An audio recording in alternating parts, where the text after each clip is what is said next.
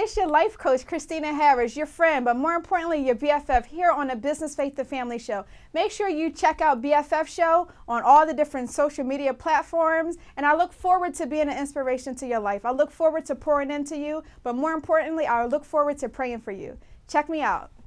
Get ready to be blessed on the BFF Show. On to new season and on to new things today. I'm far from perfect, I'm only a human being, human This show is the what else. You gotta know yourself. There was a difference between being saved and having a relationship with mm-hmm. God. God uses women in scripture. Yeah.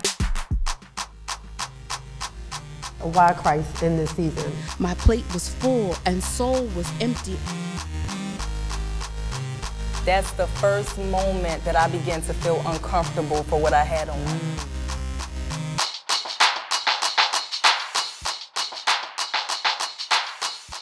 And we pray, Lord, that we not just talk, but we walk.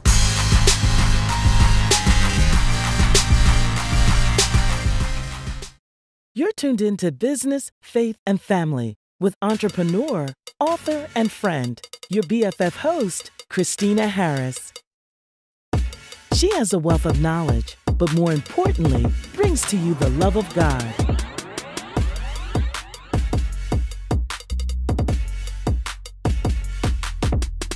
Get ready to be blessed. Your life coach is here on the BFF Show.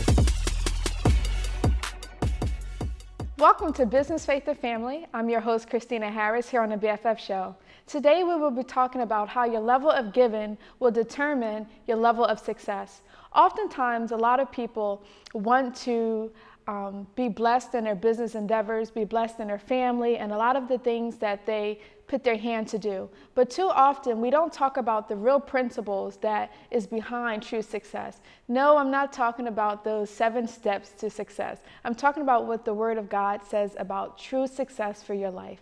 I want to come out of Genesis 4 today, but first, I want to tell you how this is applicable to my life. The Lord has been really good to me.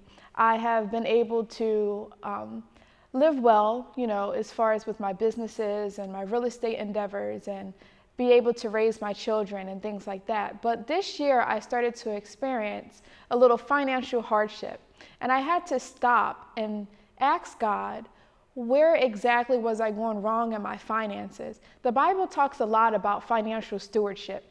And it is our responsibility to seek the Lord for not only the provision, but instructions that comes with the provision. And sometimes we don't do that successfully. So I want to sit here today and I would love to go over some principles, some financial principles that will not only help you get to your next level of success, but also help you do it in a godly fashion. As a life coach, I tend to um, consult a lot of business um, people who like to open up businesses and maintain their business, but too often we don't know exactly how to handle our finances. So I want to read this story today to you, and I want to bring out where exactly um, you may be in your finances, where if God is pleased with how are you handling the stewardship of what he gives you. I know for me, I tithe. The Lord has helped me to come into the full revelation of tithing, but he also recently just showed me how I was handling the other 90% of my income. And I thank God for his faithfulness as far as helping me to just be a better steward over what he gives me. Most times, God wants to be able to trust you with what you have. And I want to ask you are you trustworthy with what the Lord has given you already in your hand to be um, steward over? So, as we read in Genesis 4, I'm going to come out of um, verse 1. It says, Now Adam had sexual relations with his wife, Eve, and she became pregnant. When she gave birth to Cain, she said, With the Lord's help, I have produced a man. Later, she gave birth to his brother and named him Abel. When he grew up, when they grew up, Abel became a shepherd while Cain cultivated the ground. When it was time for the harvest, Cain presented some of his crops as a gift to the Lord. Abel also brought a gift, the best of his firstborn lamb from his flock. The Lord accepted Abel and his gifts, but he did not accept Cain and his gift. This made Cain very angry, and he looked dejected. Why are you so angry? The Lord asked Cain. Why do you look so dejected? You will be accepted if you do what is right. But if you refuse to do what is right, then watch out. Sin is crouching at the door, eager to control you, but you must subdue it and be its master. I'm pretty sure you heard this story perhaps as a biblical tale growing up about Cain killing his brother Abel. And we probably perhaps focus so much on the actions of Cain, but did we ever look at why did Cain kill his brother Abel? And sometimes as we even bring it into more modern times, it was over the harvest. It was over the harvest. You know, God had blessed Abel's um, harvest and that's because Abel gave God the first, the best of his lamb and the flock. And I want to first start off by saying, in a few chapters prior to this, we know that Cain and Abel parents were Adam and Eve. And naturally, it's not our inclination to, to give. We're not, I, I always say, naturally, we are not good people. You know, I, I think it's we have to learn to be good. I think there's a lot of bad in us sometimes. And um, being good is a condition. You know, we are conditioned to do good things. So I firmly believe that Adam and Eve had to have taught their children about um, the principles of giving to the Lord. And when you give unto God for out of His love, out of the love that you have for God, out of the gratitude and appreciation, there's no cap on that, I'll say. See, in the religion world, in, in church, I'll say, they, it's instructed that you give a tenth of your income or whatever is the, um, whatever God had provided for you. When you love God, you move from what religion says and you move into what relationship says. And relationship is I love you and you can have it all. And you can have the best of the best that I have. And this is the heart that we see here with Abel. Not only did he just give any kind of sacrifice, he gave the best. And I think that is what God had honored. In the Bible here, it says that God accepted Abel and his gift. So I encourage you as you increase your, living, your level of giving, whether you are in church or whether, whether you are just sowing a seed into your local community or some organizations that will probably really need your help. I, I pray that God begin to teach you how to give your best. And it's not always about an amount. As I further go on into this study, I want to show you that there's different ways that you can give your best to God.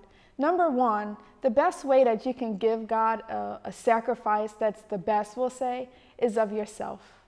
When you give yourself to God and you don't keep any areas from Him in your life and you allow Him to use you in a way that um, typically you would not, the best gift that you can give to God is yourself. When you say, Lord, I want you to use me, I want you to take my life as a living sacrifice. So, the best gift that you can give to God is yourself. Um, and this is in no order. The second gift would obviously be your time. Your time is important. Yes, you can tithe on your time. We all are awarded, awarded the same amount of time in each day. So I don't care if you wake up in the morning and you talk and have your um, fellowship with the Lord. I don't care if it's at night or both it's important to set aside, carve out some time for you and God to just bask in His presence, to get instructions for the next day, to ask for new revelation for what you've learned, the lessons that you've learned throughout life so far.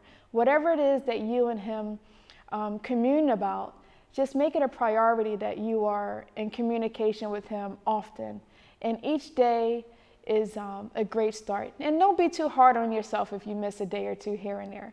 The second way is through your gifts, your skills, your talents, you know. that's a, another way that you can honor God and what you're doing and when you give to Him.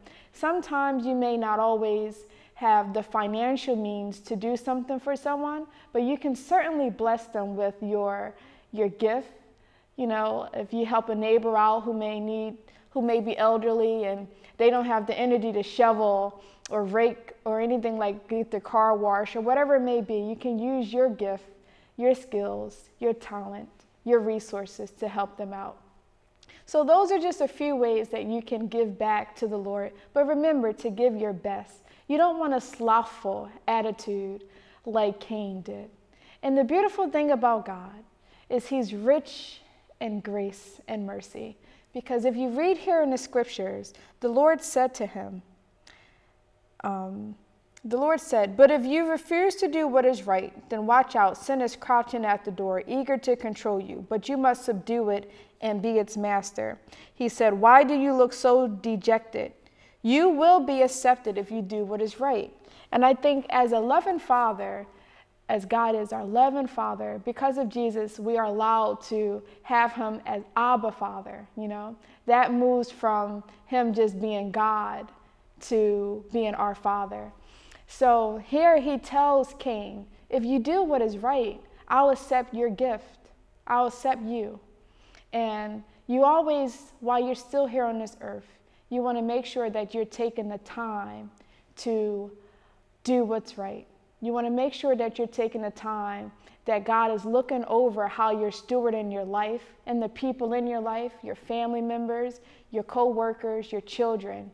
And while you have that time, you always can do it right the next day or from the minute you realize that you may be falling short. Another thing I want to read to you here in Proverbs 21 27, it says, The sacrifice of an evil person is detestable, especially when it is offered with wrong motives.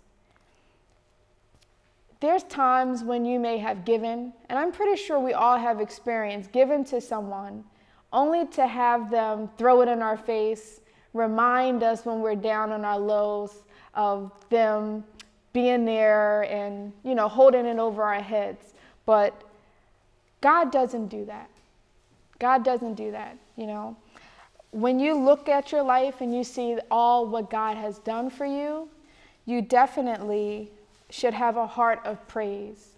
You should have a heart of praise. And the theme of tonight's message is given unto the Lord. When you give unto the Lord, it should be a, a mindset for you. It should be a mindset and not just a commandment. And the principle of seed, time, and harvest applies to your personal life, your business life, um, your ministry, even. You have to, I always, I always tell people, you can have a projective view into your next season based on how you've sown in your previous seasons. So if I asked you now, what will your season of harvest look like next year? Will it be plentiful? And again, that's all determined based on how you did well with the seeds from, for your pre, from your previous um, seasons. And if you, if you take time to see where you're planting. And you want a, a, harvest that is fruitful. You want a harvest that is fruitful. So if you take time to see where you're planting, and again, tithing is really important. I'll tell you why. As I, in my experience, I remember when I first felt as though I didn't want to give to the church. I spent a lot of my time looking at what the church was spending their money on, the pastor, what type of car he drove, what type of suits he was buying. I allowed the enemy to keep me distracted with things that really didn't matter to the point where I remained disobedient um, and did not give my tithe. And it wasn't until I had to be delivered from that mindset. And I thank God for that because I was only stopping my own blessings thinking like that before. So when I started to tithe the 10%, I things started to really just become more in order for me. And I thank God for his faithfulness to even allow us to sow a seed. And don't, so don't get, I say that to say, don't get distracted. Sow your seed. Be joyful when you do it. And watch God repay you back. He may not always give you a financial, financial blessing. He may give you more time here on earth with your children.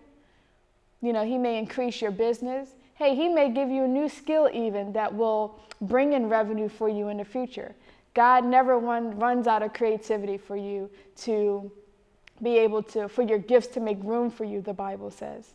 So I encourage you to sow your seed. And like I said, if you're not part of a local assembly, you know, you can um, sow into someone's life. If you're constantly sowing seeds of good things, you have to reap a harvest of good things.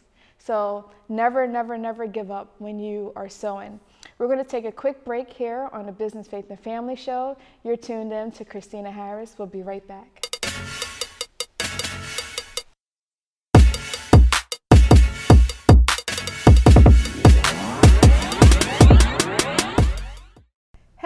Your life coach, Christina Harris, your friend, but more importantly, your BFF here on the Business Faith the Family Show. Make sure you check out BFF Show on all the different social media platforms, and I look forward to being an inspiration to your life. I look forward to pouring into you, but more importantly, I look forward to praying for you.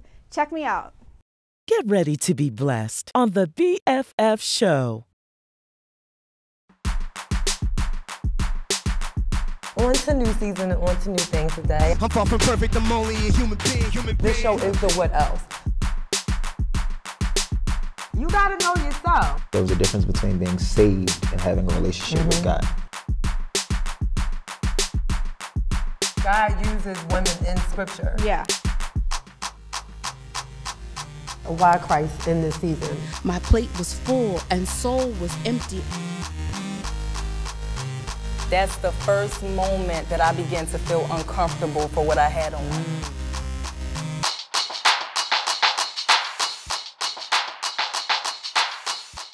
And we pray, Lord, that we not just talk, but we walk.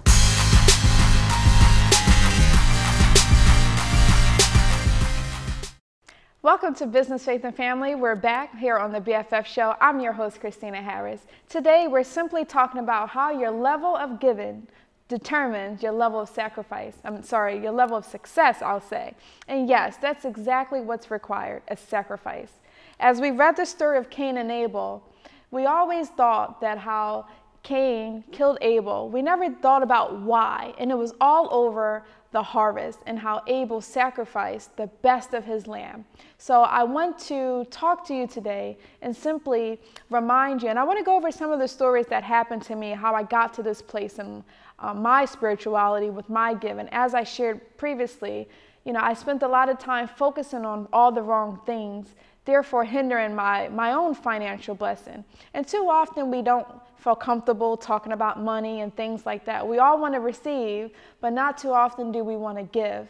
And as I talk about and look at my own story, I, I just think about how there were times where, as a property owner, I'll say, of a lot of different property, there's times when I tithe and I tithe faithfully, but there's times when nothing will go wrong with the properties for long, ex- extended periods of time, and I'll have great tenants, and the business will be booming. There's God never runs out of time of opportunities to bless you when you are, and it's all up to His discretion. By no means do I want to sit here and tell you that it's a genie effect. You give God, you make a wish, and it comes true. God doesn't work that way. He's a good father. So, therefore, He's not going to give you too much that you can't handle. And He knows your needs. And today, as I said, I want to just pour into you guys and encourage you to give. One thing I, I my faith has increased because the more that I walk with God, I firmly believe that He has brought me to a place of trust in Him through situations. There's times, there was one time particularly, I just bought a brand new um, car, my first brand new car actually.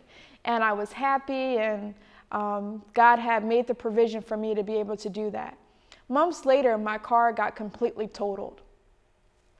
And I was really upset because, you know, cars, they don't keep their depreciation and things like that. But God, being so rich in his wisdom and just just knowing all that's going to happen before it even happens, it just so happened that I fell on financial hardship a few months later. And because that car got totaled, I no longer had to carry the financial burden of the payments of the car anymore. And not only did I not have to carry the monthly payments of the car, I was awarded $13,000 back because the car that I traded in had um, still had a lot of value in it. It was still a newer car. And I remember at the time, I was a little upset with the Lord, if I can be transparent, because I felt like He took from me.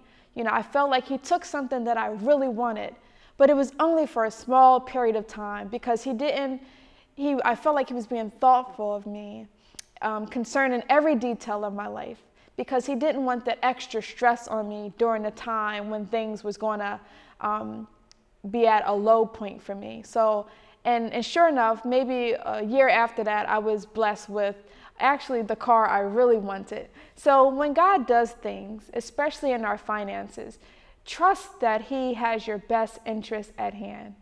The Bible says He allowed all things to work together for the good. And I just encourage you to trust God with your finances. Don't just give Him the 10% because God is so good that not only does He allow, He, when you start, I always say, when you start making some real money, you'll thank God that He only um, commands that you give 10%. And then He's so good that we get to write it off on our taxes most times. That's a loving Father.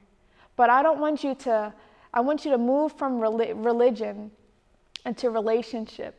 So that way you can have a spirit like Abel who says, Lord, you can have whatever you want, and you can have the best of what I have.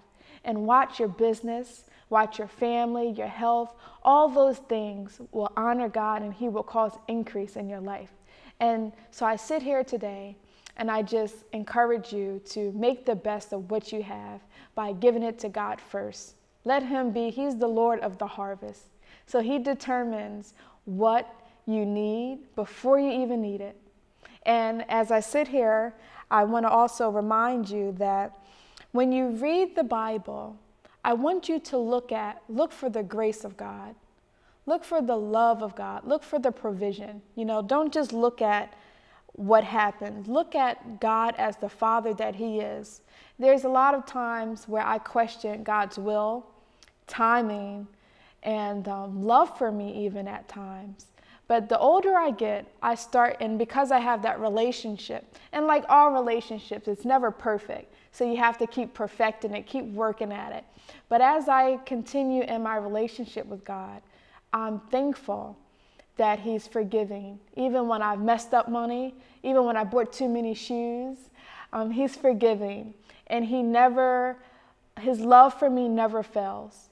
There may be times where I question if, you know, money was going to come when I needed it to, but as we always hear him say, he may not come when you want him to, but he's always on time.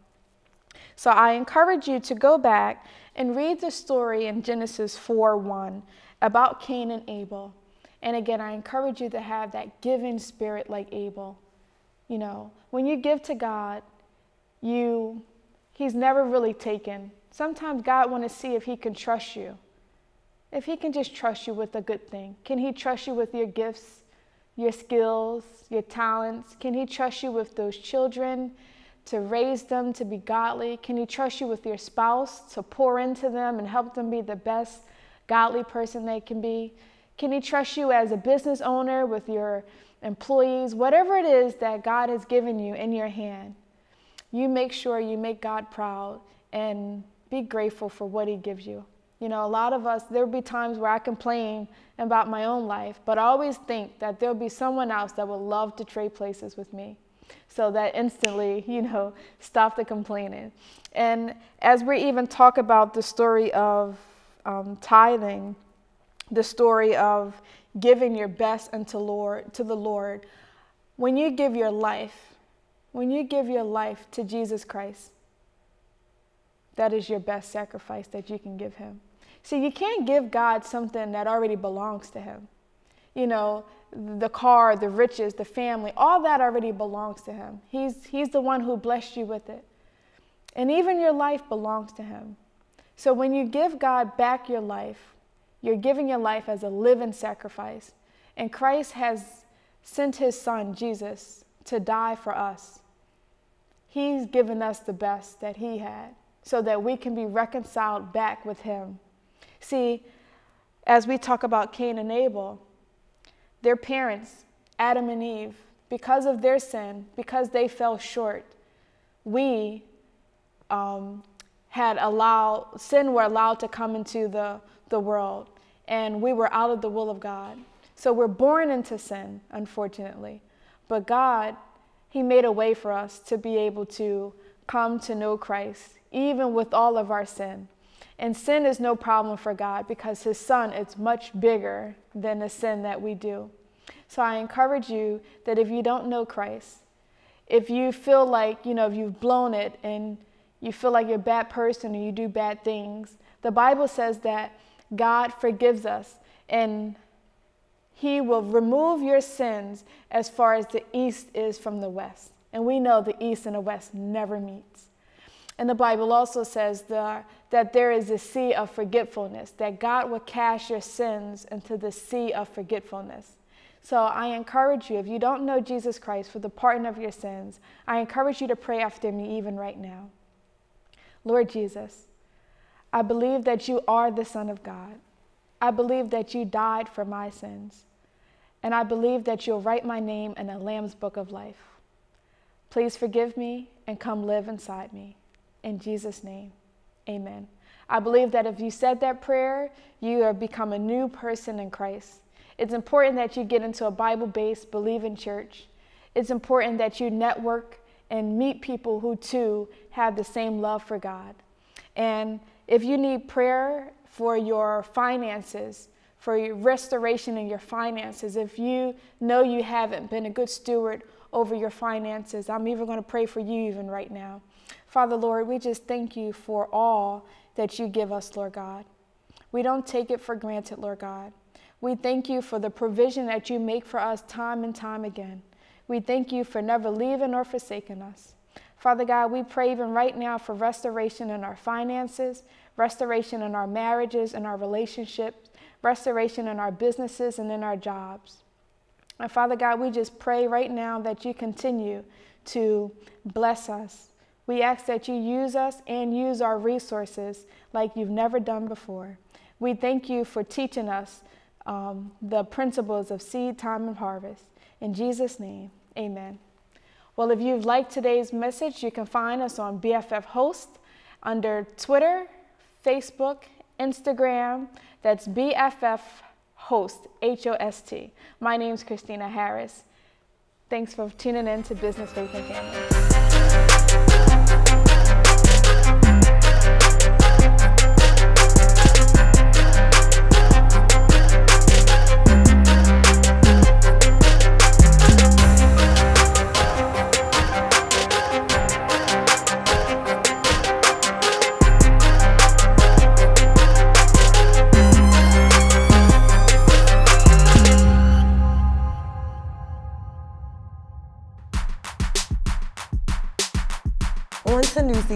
Season and to new things today. I'm far from perfect, I'm only a human being, human being. This show is the what else.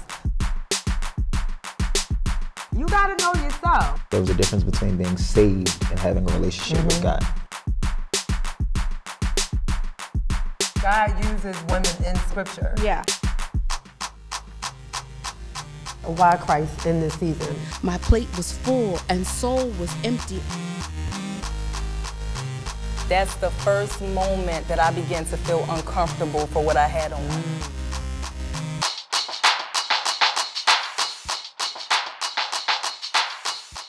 And we pray, Lord, that we not just talk, but we walk.